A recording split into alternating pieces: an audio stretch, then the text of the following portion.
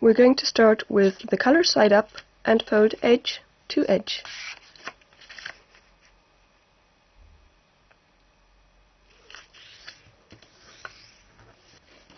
And unfold. Now bring the lower edge to the crease you just created.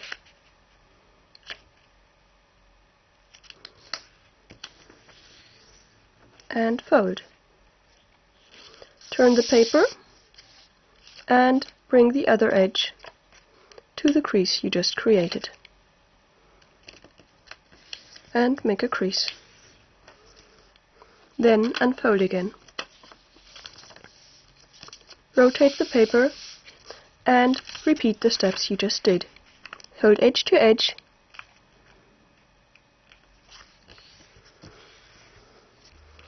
unfold, bring the lower edge to the crease you just created,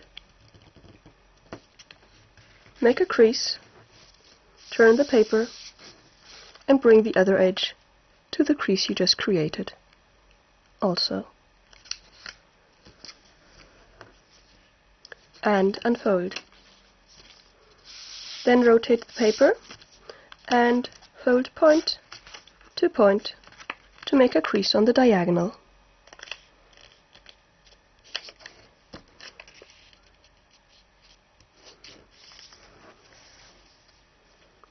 Unfold, rotate, and again bring one corner to the other to make a diagonal crease.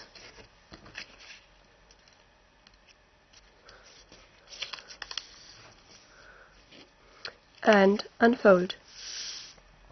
Now bring the tip to the intersection of these three creases right there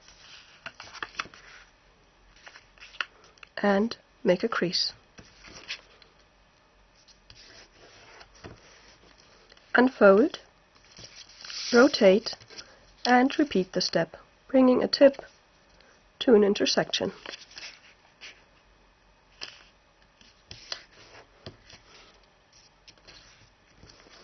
Unfold again, rotate, and for a third time bring a tip to an intersection.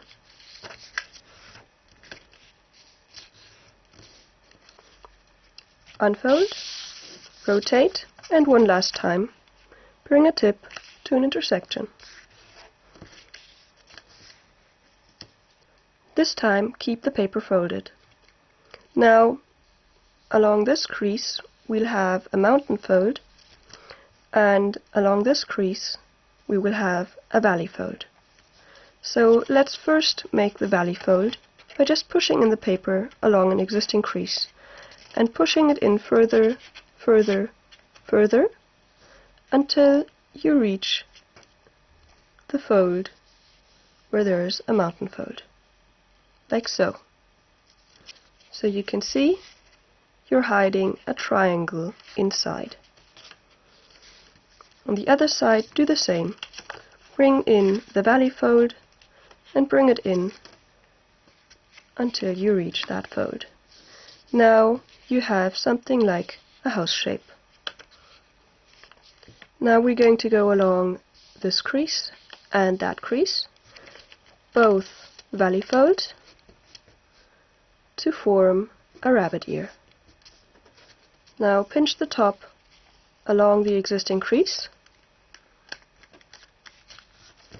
then fold the rabbit ear to the left, make a crease, and to the right, and make a crease. Now go to the next side. Bring the rabbit ear out of your way and again go along this crease, bringing it inside. Now open up this area so that you go along this crease in a mountain fold, like so. And then you again have a house shape and you again collapse it to the left, to the right, and bring it upwards to have it out of your way.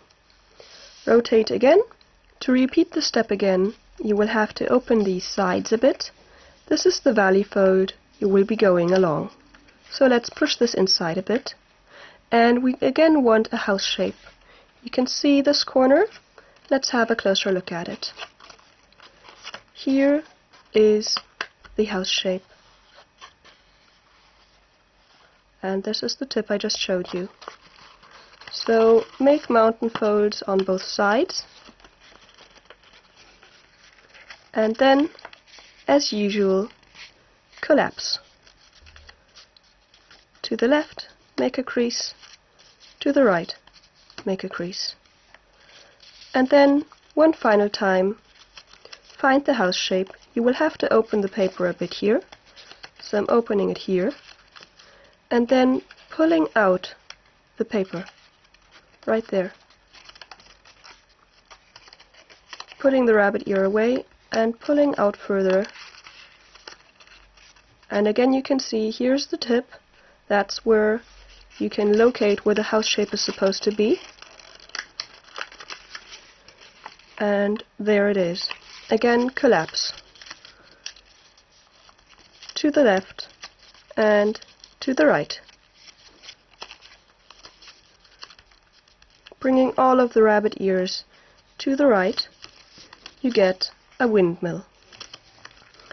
Now take a top point and fold it downwards and a left point and fold it to the right. Now rotate a bit and you will see you've got a big triangle, you have got a small white triangle and the rest is colored and there are two squares. Now we're going to go along this crease and there are two creases right here.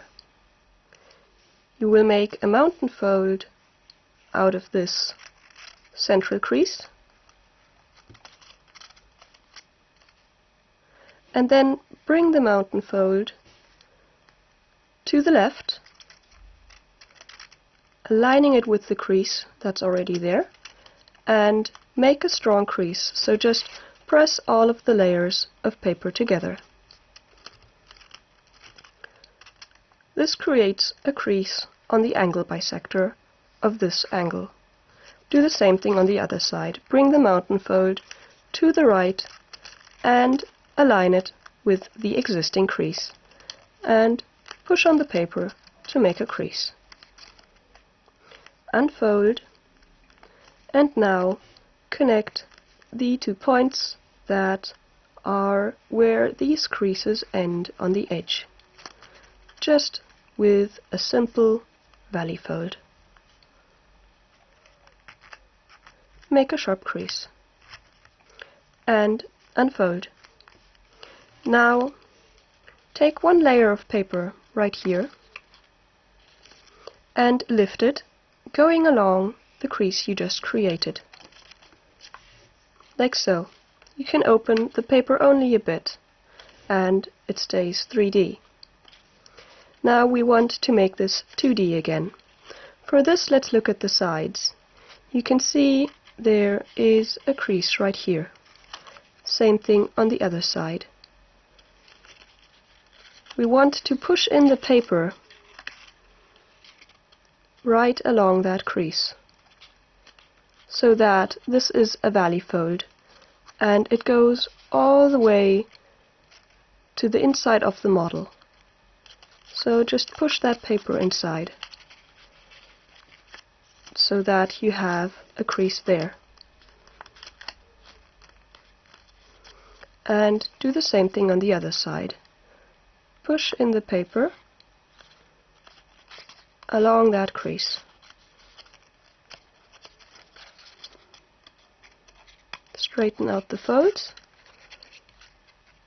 and then if you look at it from the front again you can see that two edges meet in the middle now.